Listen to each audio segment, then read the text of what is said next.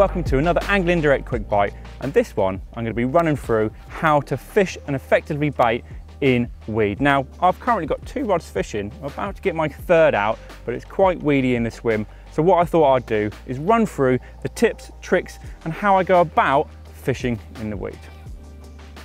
So why is fishing in the weed so important? Now for me there's two major reasons. One, come spring and summer the fish love to spend time in the weed and not only that, it's full of naturals and they love eating that as well.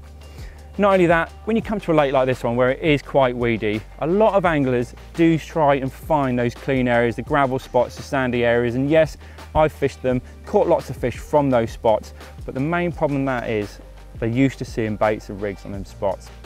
If you move over and fish in the right kind of weed, because there is a right kind, we'll get on that in a little while, you can actually get the fish when they're off guard, they're not used to seeing rigs, not used to seeing baits, and they're actually easier to catch. So as I quickly mentioned, there's the right kind and the wrong kind of weed to be fishing in. You found your swim, you found the fish, you need to find some spots. Now, if the weed is at the top of the lake, real thick stuff, the Canadian stuff, the dirty stuff, you ain't gonna catch in that, you ain't gonna present your baits, and you're definitely not gonna land any fish while fishing in that. What you wanna do is you get your marker rod, have a good lead round the swim, and try and find some of that low-lying silkweed usually about 10, 12 inches off the bottom. That's the sort of stuff that carp love to spend the time in, feed in, and you can also present rigs and bait in that perfectly.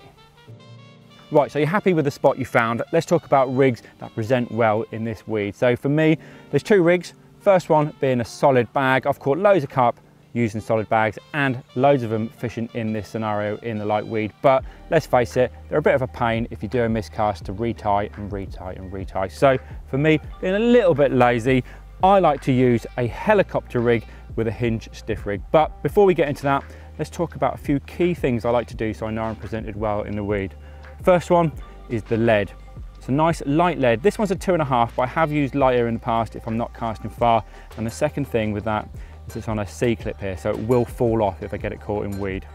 The next thing is this adjustable bead on the lead core here. Now, some lakes allow lead core, some don't, but you can actually fish this exactly the same straight on your main line if the lead core ban is there on your lake. So this bead, as I mentioned, is adjustable and I fish it generally about 12 inches from the lead. That generally covers most scenarios in the weed lengths I'm fishing in. The next is the rig. Now, as I mentioned, the hinge stiff rig, I fish it with a fluorocarbon boom about 10 or 12 inches. Quite long really, but I want it to be able to settle down on any weed I'm fishing on.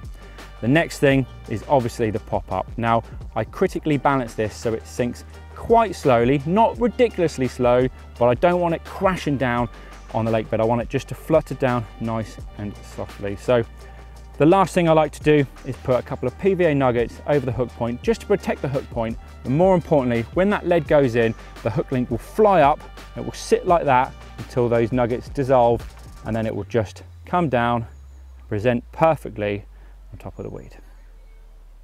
So your spot is sorted, the rig is sorted. Now let's talk about the last piece of the jigsaw and that is bait and bait application. Now I've just mentioned I like to use a hinge stiff rig and predominantly that is fished with boilies. And yes, you can just catapult or spod your boilies out into lake and you're fishing, but I like to use 18 mil boilies. Generally they're quite heavy and what happens is they sink down rather fast and they don't sit on top of the weed, they just get lost in the weed. And yes, that's fine, the carp will find them and they will eat them, but we're presenting our hook bait on top of the weed. So I get around that by using one of the choppers and chopping my baits in half. What that does is it means they flutter down nice and softly and what they do is they lay on top of the weed exactly where our hook bait is. So you found your spot. If it's in catapult range, you can catapult the halves out, but they don't go out accurately. So what I like to do is stick them in a Spomb. This way, I know 100% I'm landing that Spomb directly over my rig and those half baits are fluttering down and sitting on the weed exactly where my hook bait is. So there you have it. That's everything I do when I'm fishing in the weed. So hopefully you can bring this into your own angling and confidently fish in the weed. Now, if you need any more proof, head over to YouTube, check out vlogs three and four of carp chapters where I catch some awesome carp, including a 40 pounder from Elson's Lake using exactly that technique. And while you're there, hit the like, hit the subscribe so you don't miss any more quick bites, more importantly, any more carp chapters.